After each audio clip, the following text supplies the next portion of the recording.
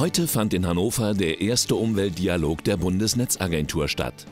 Bei dieser Veranstaltung diskutierten Wissenschaftler, Verbände und interessierte Bürger über die Auswirkungen des Netzausbaus auf Mensch und Umwelt.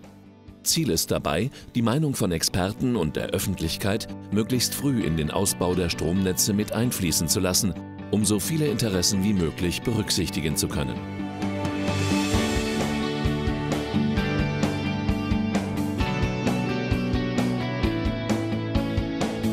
Wünsche Ihnen, ich wünsche uns eine fruchtbare Diskussion äh, und alles Gute äh, für den weiteren Verlauf der Tagung. Vielen Dank.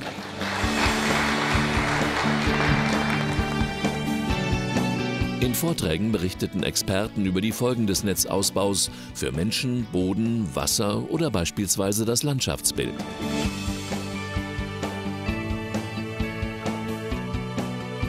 Bei den Erdkabelprojekten haben wir riesige Bodenvolumen, die bewegt werden. Da sind wir ganz schnell in der Größenordnung von 20.000 und mehr Kubikmetern, die bewegt werden müssen, um das Kabel überhaupt in den Boden zu bekommen.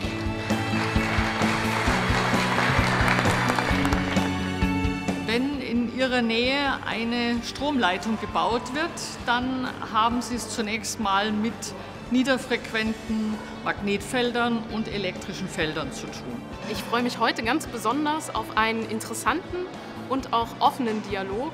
Nicht nur mit den Fachbehörden oder zwischen den Fachbehörden, sondern ganz besonders auch mit dem Bürger. Also ich äh, kann den Ausbau der Stromnetze nachvollziehen.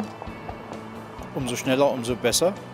Also ich finde es halt schwierig, ähm, sich eine eigene Meinung darüber zu bilden, über das Thema, weil halt man überhaupt nichts weiß über den Ausbau des Stromnetzes.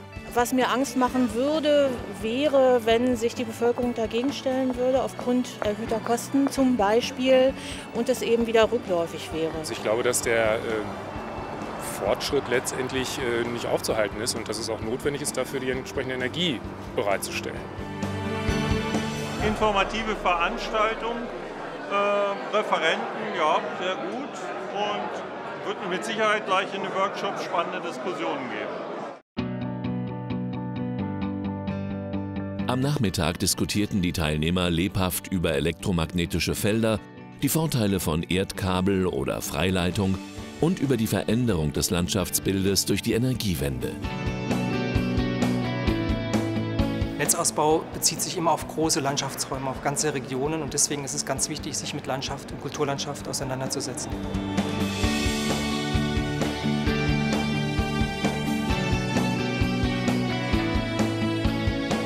Was mir nicht klar ist, ist, wie die Ergebnisse hieraus jetzt tatsächlich genutzt werden. Die Ergebnisse aus den Workshops und die Erkenntnisse aus den Fachgesprächen lieferten wichtige Impulse und werden in die weitere Arbeit der Bundesnetzagentur mit einfließen.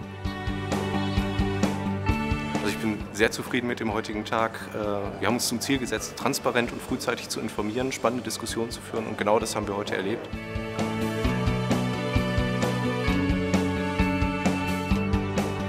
Aus naturschutzfachlicher Sicht war für uns vor allem diese Parallelität oder die Synergiemöglichkeiten mit dem Bodenschutz interessant.